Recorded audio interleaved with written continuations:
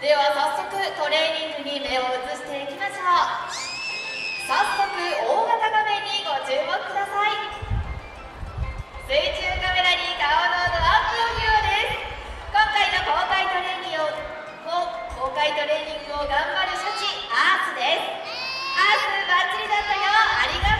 とう。ご挨拶することができましたね。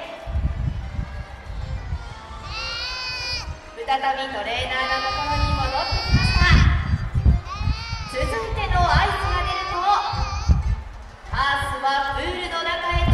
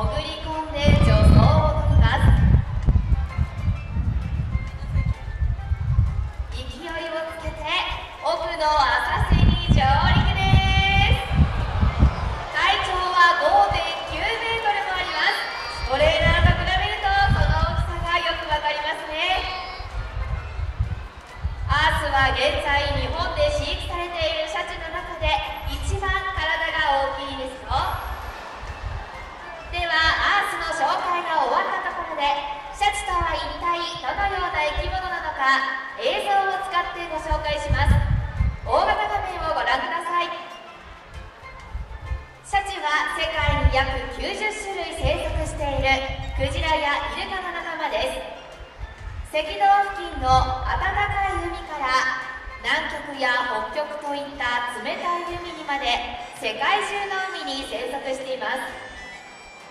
世界中ということでもちろん日本の周りにも住んでいるんですよ。実はここ名古屋にもやってきたことがあります。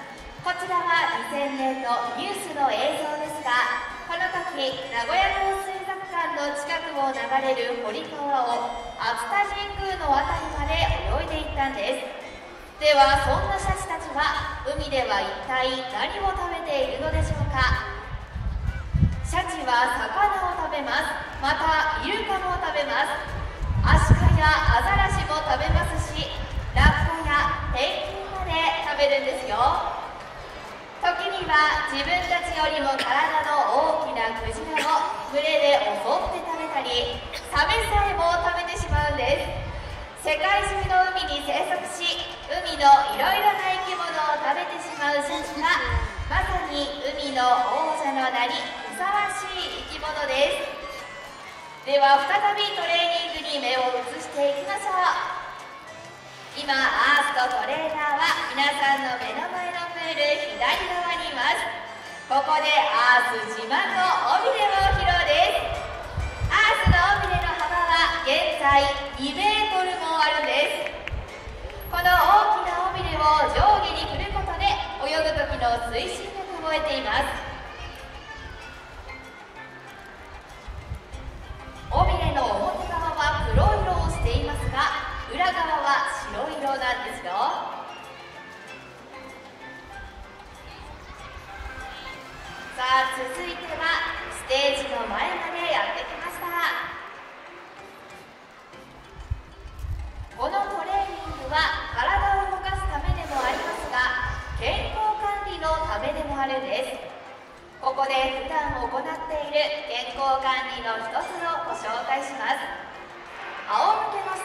実はこの姿勢で体温測定を行っているんです。ではどのようにして測るのか大型画面をご覧ください。この写真のように細長いセンサーを高温に50センチほど差し込むことで体温を測ります。シャチの体温は35度から36度ぐらいと私たち人とほとんど変わりません。では1日に2回体温を測ることでシャチたちの健康管理に役立てています。トレーナーからよしよしと撫でてもらっていますね。トレーナーから合図が出ると大きな胸びれを持ち上げました。シャチの胸びれは丸い形が特徴です。この丸い胸びれの中には私たち人間と同じように5本の指の骨が入っています。そのためこのように器用に動かすことができ泳ぐ時の方向転換やブレーキの役割を果たしています。アースがトレーナーからたくさん魚をもらっていますね。シャチの口の中にはたくさん歯が生えていますが実は魚を丸飲 day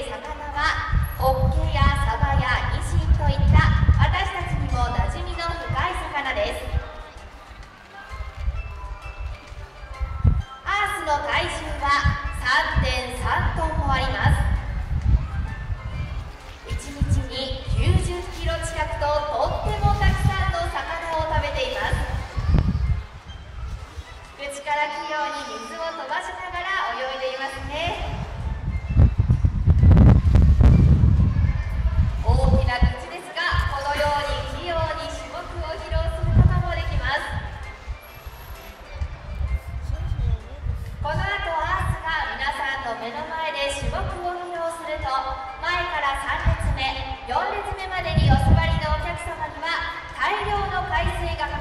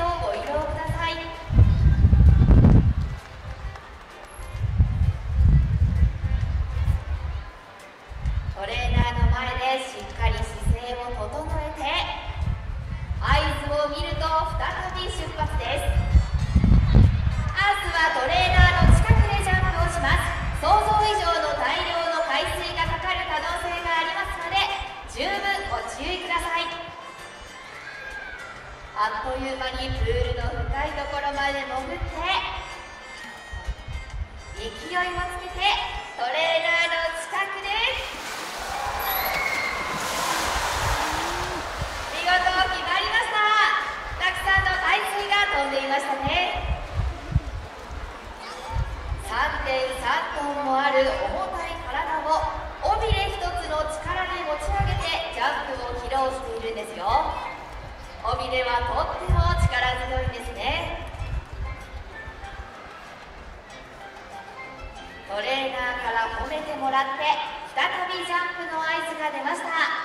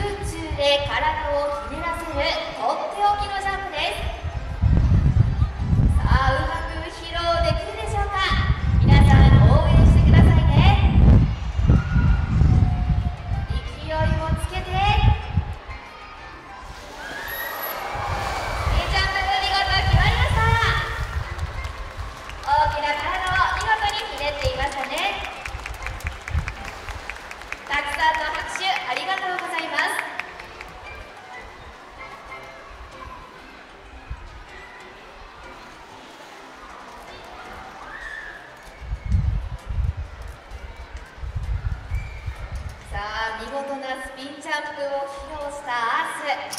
再びステージ近くまでトレーナーと一緒に移動をします。シャチの目は白い丸い模様の少し前についています。